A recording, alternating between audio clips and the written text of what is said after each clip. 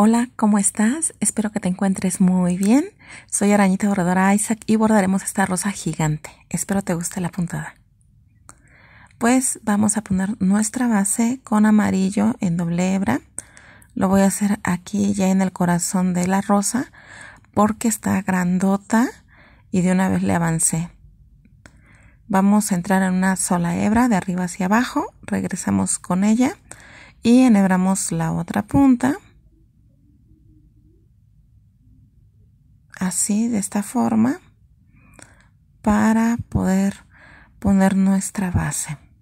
Te comento que lo que llevo de relleno me tardé o de base hora y media poniéndolo. Así que sí es bastante tiempo por eso lo preparé previamente. Y bueno en doble hebra vamos a poner nuestra base de esta forma. Son cuatro, seis hebras. Ahí está. Dejamos un espacio. Ponemos otras seis hebras. Y lo vamos a hacer de esta manera para que quede nuestra base en una cuadrícula. Aquí está. Nuevamente dejamos un espacio. El espacio que vamos dejando puede ser de medio centímetro a un centímetro máximo, no más grande. Y las vamos acomodando de esta forma.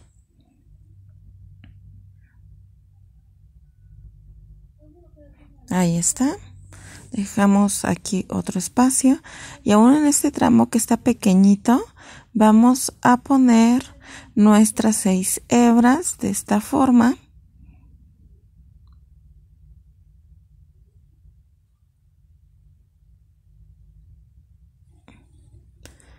a continuación. Bueno nos vamos a pasar del otro lado. Te muestro cómo me paso para que si gustes lo puedas hacer de esta forma. Yo así lo hago.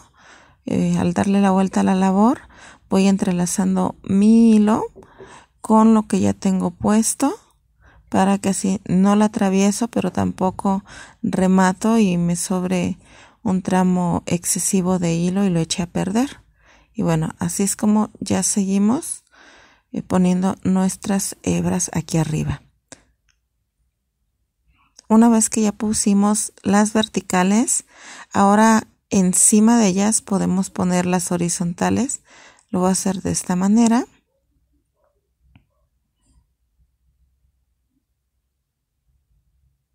Nuevamente van a ser seis hebras que vamos a poner. La puntada que vamos a usar hoy es simplificada para que las que están aprendiendo a bordar la puedan hacer en sus labores. Y posteriormente en la semana les mostraré una forma más avanzada de esta puntada. Y no se pierdan hasta el final del video porque les voy a mostrar un detalle que quizás no se esperaban. Y bueno, así vamos a acabar ya de poner nuestra base. Aquí dejé muy ancho el espacio de un lado, entonces reacomodo. Y ya está.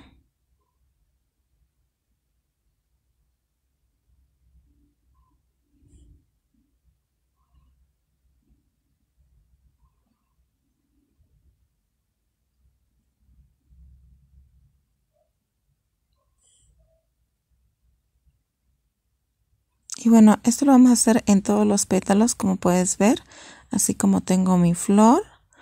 Y ahora sí, bueno, vamos a rematar aquí con tres puntitos para no hacer nudo. Y ya estamos listas para el paso número 2. Así va a quedar.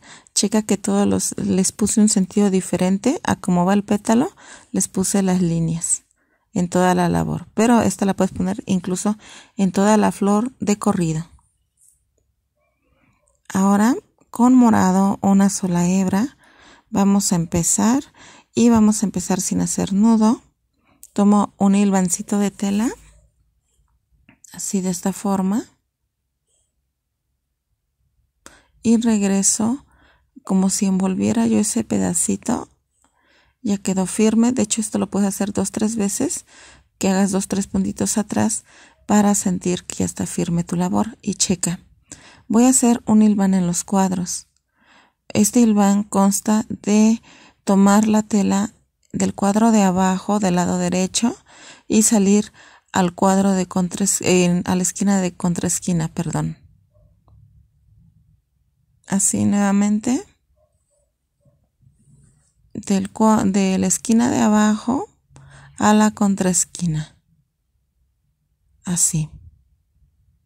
Nuevamente hacemos el hilvancito y cerramos.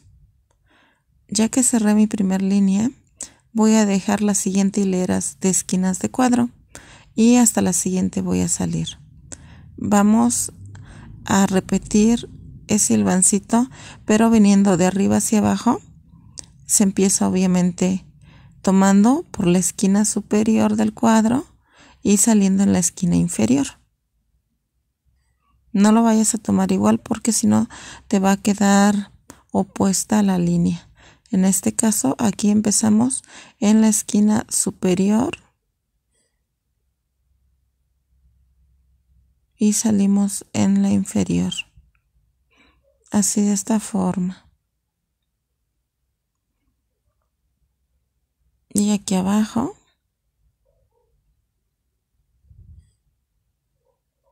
y así es como nos vamos. Y una vez que está esto, dejamos la siguiente línea y nos movemos para trabajar la que sigue.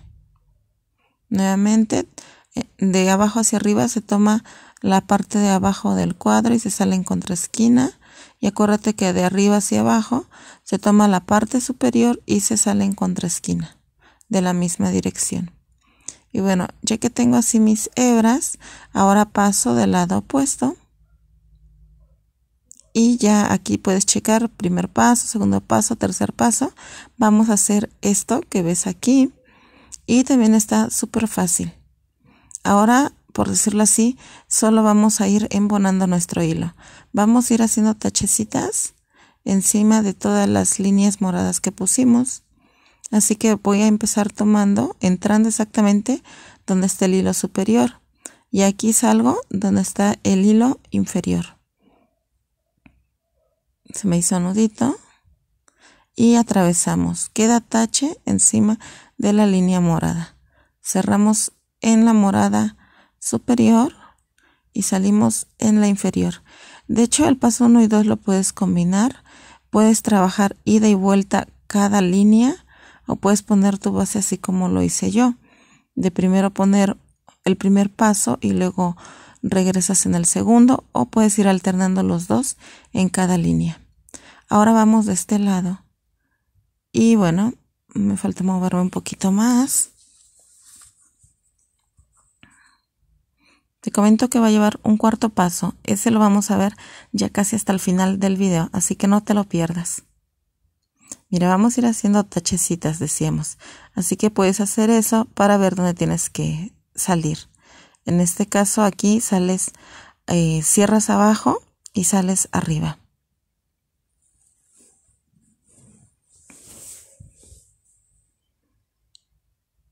Cerramos en la esquina de abajo y salimos en la de arriba. Estamos saliendo exactamente donde está el hoyito que pusimos en nuestro paso anterior así. Aquí cerramos. Mero donde está el piquete anterior es ahí donde clavamos y donde salimos. Ahí está.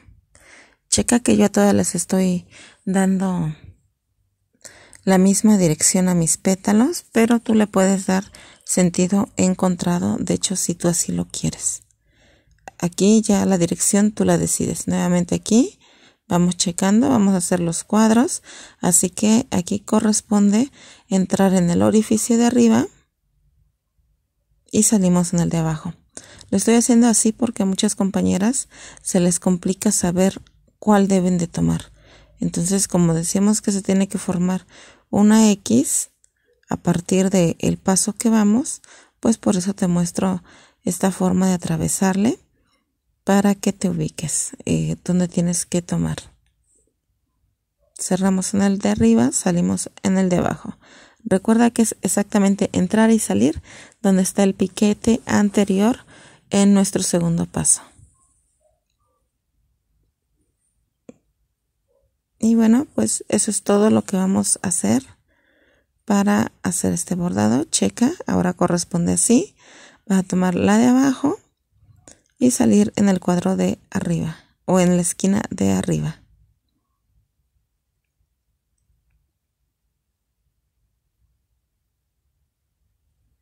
Y hasta terminar esto y eso mismo haré con los siguientes pétalos. Checa, así ya quedó mi labor. A todos les di el mismo sentido. De hecho, tú lo puedes hacer en dos partes, que unas vengan de un lado y las otras hacia el lado opuesto, pero yo decidí así. Ahora aquí en lo que viene siendo en la parte del centro del corazón, voy a poner puntada de cadena en doble hebra. La voy a hacer así doble hebra porque es un soporte y necesito que sea resistente. No se te olvide que nos falta otro paso en los pétalos. No vayas a pensar que queda así de frágil nuestro bordado. Todavía le falta un poquito más. Y no se te olvide suscribirte al canal, deja un me gusta y también no se te olvide compartir en tus redes sociales el enlace de este video. Y si te es posible, deja un comentario qué te parece el bordado de esta rosa.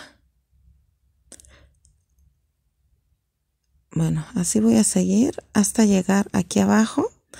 Y exactamente esto mismo voy a hacer en el pétalo largo opuesto que pueden ver o el doblez del pétalo. Mejor dicho, estos son. Este también, igual. Y aquí ya lo tengo más avanzado. Ahora puedes ver que en rosa, doble hebra, voy a pasar por aquí abajo de los eslabones de mi cadena. La punta la voy a hacer rellena, es decir, voy a ir pasando una y otra vez en dos eslabones de esta misma forma. Así. Cerramos aquí y salimos aquí juntito. Y así vamos a avanzar, decimos dos eslabones bien rellenitos para que la punta quede rellena y pueda yo esconder Ahí puedes ver las líneas amarillas que atravesé en sentido horizontal. Esto lo hice así para trabajar los pequeños espacios de mis pétalos y no se vieran en diferentes direcciones o un poco inclinado. Entonces por eso les sigo de esta forma. Pero si no sería rellenar un solo eslabón y ya pasar al siguiente. Así continúo. Te comento que a esta altura ya llevo casi cuatro horas con este bordado. La verdad sí está grande y un poco pesada. Quizás no me dé tiempo terminarla toda. Pero bueno, voy a avanzarle lo más que pueda para mostrárselas. Aquí que ya la tengo así, ahora vamos a dejar un eslabón o lo que falta del eslabón de llenar y pongo mis líneas de esta forma. Seguimos atravesando por abajo del siguiente eslabón exactamente como lo hicimos en la vuelta anterior. Así. Si aquí sientes que te quedó muy grande el espacio, bueno, haces esto y ya queda más reducido, más chiquito. Y continuamos. Ahora vamos a pasar al siguiente eslabón de la misma manera. Dejamos lo que resta y hasta el siguiente entramos de tal forma que se verán pequeños triángulos blancos ahí junto a la cadena.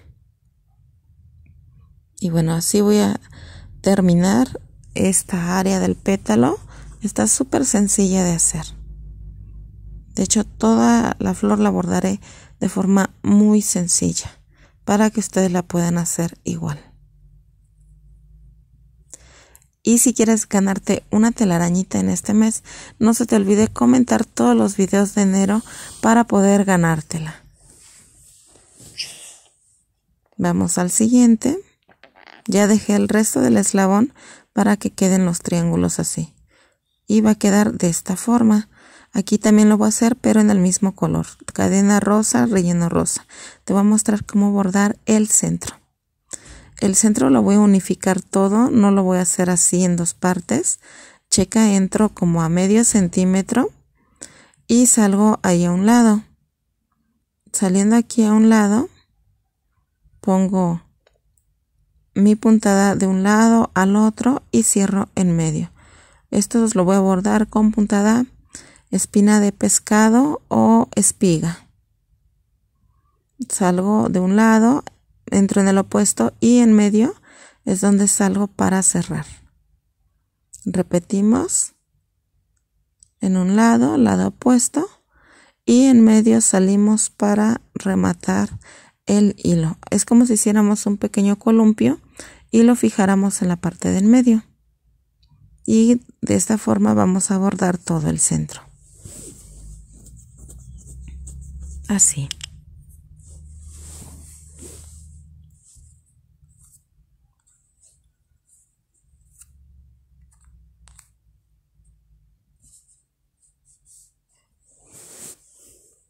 Ahorita relleno y te muestro cómo voy a hacer la parte que tiene forma de circunferencia de mi pétalo.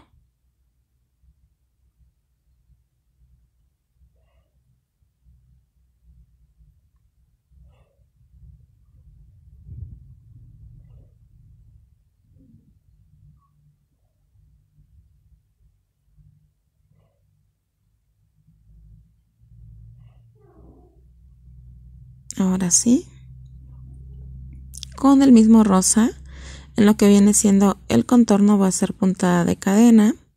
De esta forma es doble hebra como estoy trabajando.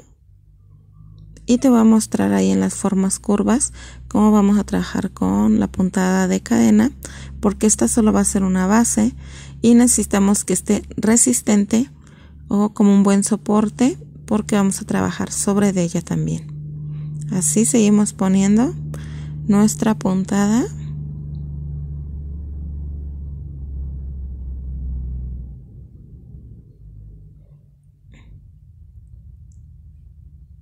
Está súper sencilla, de hecho. Y todavía nos falta otro paso más en los pétalos, aparte del contorno. Ese solo va a ser en punto atrás de un tono rosa más encendido para que resalten más los colores checa aquí lo que voy a hacer. Este es mi último eslabón que hago así de forma normal. Fijamos, queda ahí firme. Ya, y salgo a mitad del eslabón con mi hilo. Aquí se asoma la reserva y empiezo a hacer otra vez la punta de cadena. Así también haré en el otro tramo. Ya que fijamos bien nuestra cadena, vamos a empezar desde el medio para hacer ambos lados. Tomamos el eslabón del centro, este lo vamos a tomar para ambos lados. De esta forma y clavamos lado opuesto. Dejamos aquí un pequeñito espacio. Bueno, pues hacemos un puntito atrás y tomamos el siguiente eslabón. Cerramos al lado contrario abajo, dejamos un pequeño espacio y salimos hacia atrás.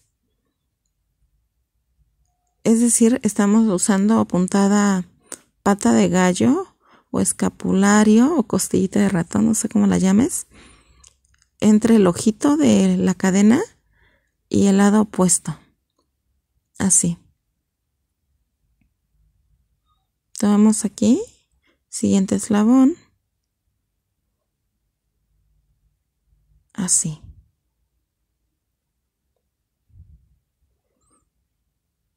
Y bueno, así vamos a ir cruzando de un lado a otro. En un lado entramos en la cadena, en el otro en la tela y hacemos un puntito atrás para salir y seguir trabajando. Nuevamente tomamos la cadena. Solo un lado de la cadena estamos tomando. Algo importante es que tú puedes tomar la cadena ya sea por arriba o por abajo, a como mejor te acomodes. Y bueno, así vamos a continuar hasta que rellenemos este lado y del lado opuesto decíamos empezamos nuevamente desde el centro y tomamos exactamente ese mismo eslabón Y ahora vamos al siguiente paso.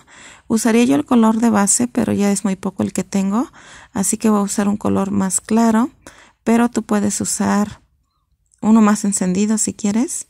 Y solo estoy poniendo hilvancitos en doble hebra con eh, pasando en sentido vertical en los eh, espacios que me que dejé de esquinas de cuadro. Solo es hilvan encima de esa esquina Parece muy sencillo, pero esto le va a dar otro acabado a nuestra puntada y aparte de que va a permitir que tenga buen soporte, puesto que el paso 2 es una sola hebra y como que queda un poco frágil, bueno, con ese se le da soporte y otra vista. Y pues eso es todo lo que haré. Está súper fácil. Ya nada más haré el contorno y bueno, no creo que me dé tiempo, ya llevo bordando casi 5 horas está bastante grande, pero en cuanto la tenga terminada, les mostraré cómo queda esta rosa en la miniatura de este video. Y así hasta terminar. Ya nada más te muestro cómo se ve con el centro del corazón. Así se ve, se ve bonita. Y mira, ya quedó así. Me encanta el resultado, espero te guste también y comparte el enlace de este video y sigue aquí en Arañita Boradora Isaac. Recuerda, el resto solo será puntito atrás y eso sería todo. Cuídate mucho, que estés bien, nos vemos en el próximo video.